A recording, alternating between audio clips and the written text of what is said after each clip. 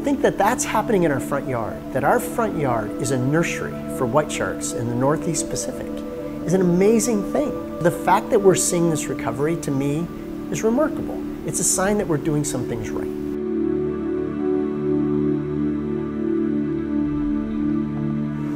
So this is an, a, a, an acoustic transmitter. So these are the types that we can dart into a shark's back. It's kind of like an earring,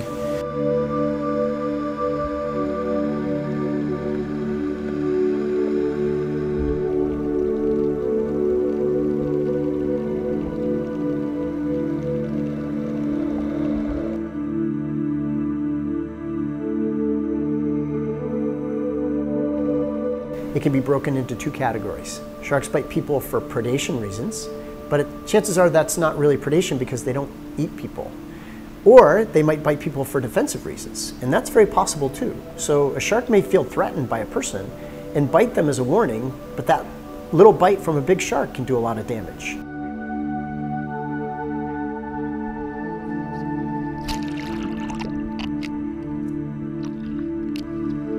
Right now, we have over 100 receivers from Central California all the way down to San Diego that are constantly listening for these sharks along the coast.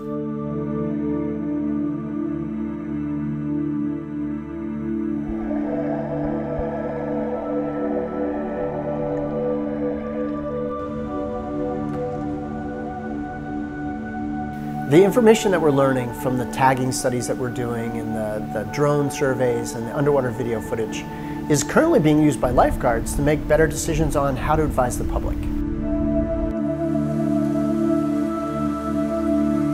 Your chances of being bit by a shark are the same likelihoods of winning the Powerball. It's that small.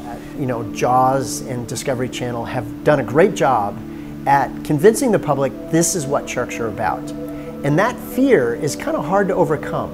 And we really have to do a lot more to educate the public about how to share the ocean.